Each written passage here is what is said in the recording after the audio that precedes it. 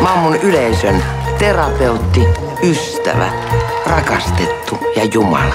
Ikääntyminen on nouseva trendi, etenkin just naisilla. Mun syntymäpäivistä ei puhuta.